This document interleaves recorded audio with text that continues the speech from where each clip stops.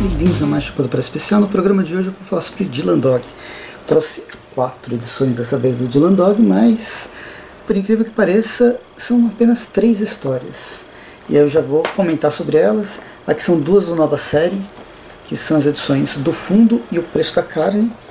E as duas, as duas os dois volumes que re representam apenas uma história são esses daqui. Edição número 25 e 26, que é O Segredo de é, Os Segredos de Hamblin e a Besta das Cavernas. Vou começar por aqui. Esse aqui é Tiziano Esclave, estamos na fase clássica do personagem. Tem o Montanari e o Grassani que fazem a arte. E, bem, ele é, é uma história diferente, não tanto pela temática que vai trabalhar, mas pela, pelo tamanho da, da revista em si. São duas histórias de 96 páginas, quer dizer, quase 200 páginas para contar um único arco de histórias do Dylan Dog, algo que realmente chama atenção, porque são pouquíssimas revistas, pouquíssimas é, histórias que tomam mais de uma revista. Existe aquela coisa que você remete a edições anteriores, faz aqueles paralelos, mas diretamente, como se fosse uma única história, como acontece em Tex, como acontece em Zagor, é esse caso é um dos é uma das exceções que a gente tem na regra de mais de 400 números que a Itália já publicou. E é uma história interessante. Talvez não seja a história mais sensacional do Dylan Dog, mas é uma história bastante interessante que começa com o, o Dylan Dog e o Grosso lá em Londres. Eles começam a ler, o, o Dylan Dog começa a ler umas cartas que ele recebe já faz bastante tempo, cartas que ele nunca respondeu, mas de uma garota dessa cidade, de Ramblin, que fica no país de Gales. E é uma cidadezinha perdida de tudo, ninguém conhece, um vilarejo completamente abandonado. As pessoas que vivem lá só desejam sair a qualquer momento, principalmente os jovens. E aí, no início dessa história, a gente vê que existe algum mistério por trás disso tudo.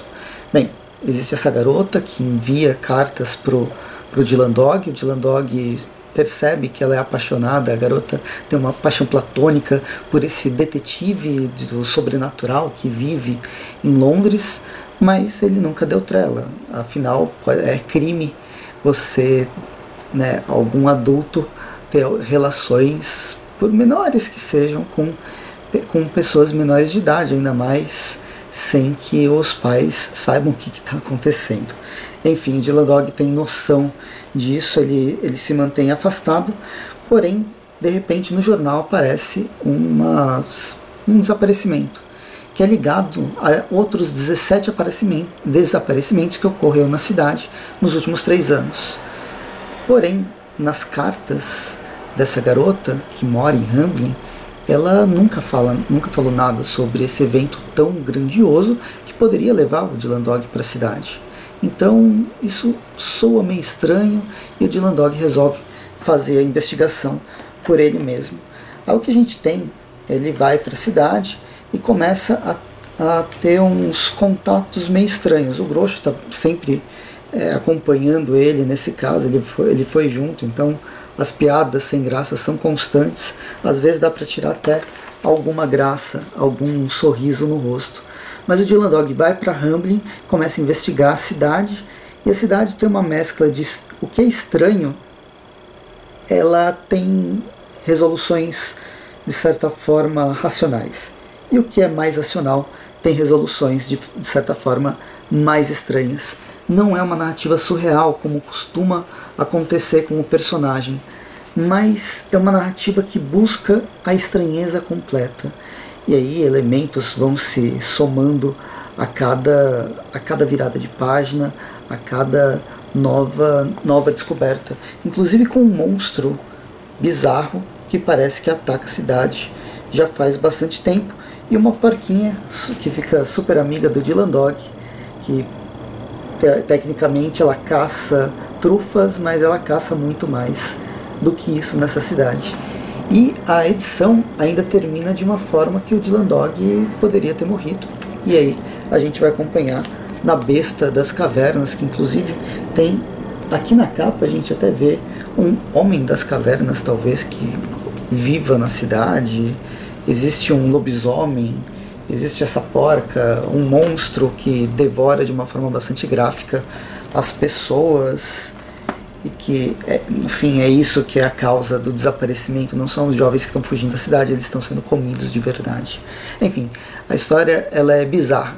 E aí, caminhando pelo bizarro, a gente tem uma narrativa interessante e divertida, embora também pegando, né, pisando naqueles ovos do, do estranho e do thriller de suspense.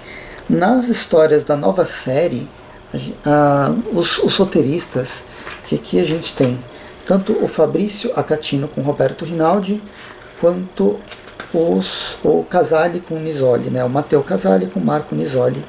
Eles deixam o humor cada vez é, mais de lado, cada vez mais escondido e dão vazão a, a histórias mais densas, mais tensas, por assim dizer. A primeira também se passa numa cidadezinha, agora uma cidadezinha litorânea de, de né, da, da Inglaterra, que de repente aparece um corpo boiando enquanto esses pescadores foram fazer o trabalho deles. Esse corpo é de uma das filhas, é, é, da, é a filha de um dos desses pescadores, mas a garota teria morrido dois anos antes.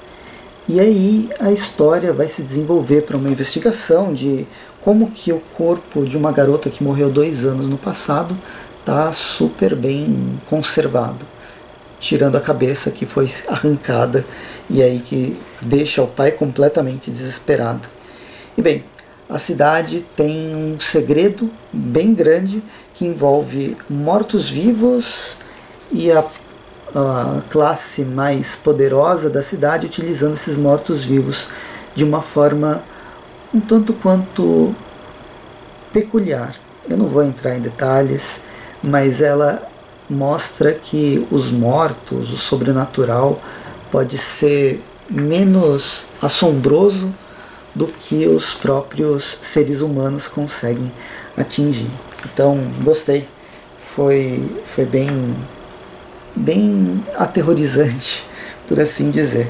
No Dylan Dog, na história do, do fundo, que chama, a gente vai acompanhar o Dylan Dog acompanhando, a gente vai ler a história do Dylan Dog que está acompanhando, investigando o caso de uma pessoa que tem uma síndrome que transforma a memória dele perfeita. E ter uma memória perfeita é completamente preocupante e perigoso para a gente. Né? A nossa mente ela funciona é, registrando alguns eventos, não necessariamente de forma fotográfica, mas em forma de processos, esquecimentos. Cada vez que a gente rememora alguma coisa que aconteceu no passado, a gente reconstrói essa, essa memória. Então, esses momentos de reconstrução servem, inclusive, para o próprio, pro nosso próprio corpo assimilar e aceitar alguns problemas, alguns traumas que a gente tenha passado. Esse cara, que é o Holden, que o, o Dylan Dog está acompanhando, não. Ele, pelo menos nos últimos três anos, ele sabe exatamente tudo que passou na vida dele.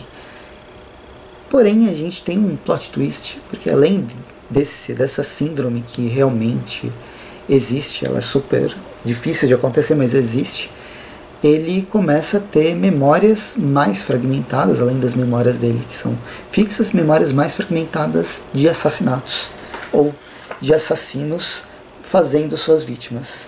E aí ele ajuda a polícia, ele começa até a própria personalidade sendo mesclada com esses, esses assassinos. E com o desenvolvimento da história, a personalidade dele a memória dele começa a fazer uma mescla, ele começa a mesclar com a memória do Dylan Dog, sugerindo inclusive que o Dylan Dog tenha matado alguém no passado e tenha esquecido que essa morte tenha ocorrido. E, bem, a história vai se desenvolver nesse a partir desse plot. Também uma, uma narrativa bem interessante, uma narrativa de um, ambos são, são suspenses com esses elementos sobrenaturais orbitando as histórias do Dylan Dog e que é, é, bem, é bem pesado cada uma das duas histórias. A do Tiziano Sclave consegue trazer esse ar meio de fábula mas ainda assim uma fábula no melhor estilo clássico, com bastante morte e bastante, e bastante sangue. Enfim, esse foi Dylan Dog, as quatro edições do Dylan Dog. Espero que vocês tenham gostado do vídeo. Se vocês acompanham essas histórias, deixem seus comentários pra gente conversar nos comentários. A gente se vê no próximo episódio. Enquanto isso, me siga no Instagram, no arroba onde eu falo sobre filmes e séries todos os dias com resenhas novas. Tem também o Fortaleza Quântico, que é um podcast onde eu e o meus a gente conversa sobre filmes, séries, quadrinhos, faz entrevistas, faz listas. Bem, procura no Spotify, procura no Courage e vocês vão encontrar episódios atemporais com várias recomendações, vale bastante a pena. Além disso, tem o link da Amazon, qualquer compra no link da Amazon ajuda bastante o canal. A gente vai ficando por aqui. Até mais e bons quadrinhos.